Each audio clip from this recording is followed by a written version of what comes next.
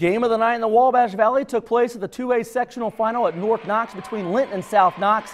Josh D-Ball tickles the twine from downtown. Linton takes a three-point lead in the third quarter. Into the quarter, South Knox's Nathan Jones plays beat the buzzer and wins. This game went to the fourth, tied at 26. The three-ball popular shot in this game Jacob Clothier gives Linton a one-point lead with another trifecta. Other end, Isaiah Stafford, he had a big ball game. Money to give South Knox the lead. These two went back and forth for five overtimes. Pick it up now in the fifth OT, tied ball game. Time winding down, Linton with the ball, and they find Pierce Jackson. He says, he is sending everyone home happy.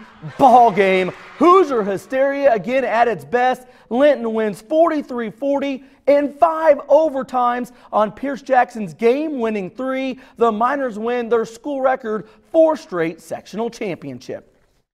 It just feels amazing to carry what the seniors taught us my freshman year and just keep teaching the little kid, uh, kids younger than us and just keep keep winning. It's the most important thing. Felt pretty good, but I mean, I've had some mounds that feel good and don't go in, so I wasn't for sure. But when I saw it hit the ball in the net, I was excited. Linton Miner toughness was huge.